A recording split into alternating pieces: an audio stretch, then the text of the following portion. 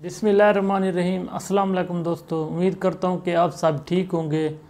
दोस्तों, इस वीडियो में खून की कमी के बारे में बातचीत करेंगे कि खून की कमी क्यों होती है, किस वजह से हो सकती है।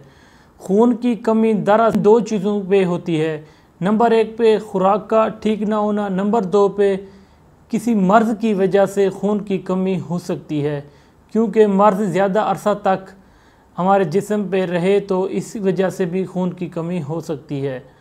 और दोस्तों, इसके साथ साथ हमें कौन सी अलामत देखने में आई हैं? इस वजह से अलामत मंदरजा झेल हैं। नंबर एक, सर में दर्द, थकावट और हल्का सा बुखार महसूस होना और इसके साथ साथ रात को सोते वक्त टांगों में दर्द होना, ये इनकी ख़ास अलामत हैं।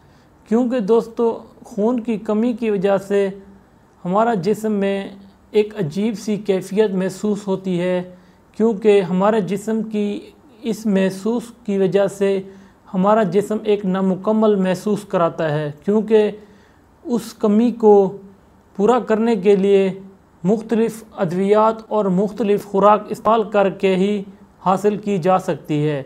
अगर नेचुरल से बात की जाए कि नेचुरल खुराक कैसे हासिल की जाए। नेचुरल खुराक में सबसे पहले बीफ हो गया, यानी गोश्त, एग, और इसके अलावा मिल्क, इन तीन ख़ास चीज़ों के ज़रिए ही विटामिन हासिल कर सकते हैं। ये विटामिन जिगर में पाया जाता है, जिसे आमतौर पर बी ट्वेल्व कहते हैं, मेडिसिन की रूह से मेडिकल फ़ील्ड में। और इसके अलावा अगर नेचुरल की बात की जाए, नेचुरल में मुख्तलिफ़ अद्वियात के ज़रिए हासिल होती है vitamin B twelve vitamin B twelve खून की कमी ही है। खून की कमी को पूरा करने के लिए ही इस्तेमाल की जाती है बी ट्वेल्व। ऑप्शन में tablet, Surbex Z, Surbex T, Evion capsule, में देखा जाए एब्रेट फॉलिक, और इसके अलावा सेंगोबियान, सिरप हो गया। मल्टीविटामिन और बहुत से मेडिकल फ़ील्ड में बहुत सी कंपनियों ने अद्वियात मुतारफ़ कराए हुए हैं, जिसकी वजह से जो आपको मैंने चंद नेम बताया, बता चुका हूँ, ये आप मेडिकल स्टोर और फार्मेसी पे ले सकते हैं।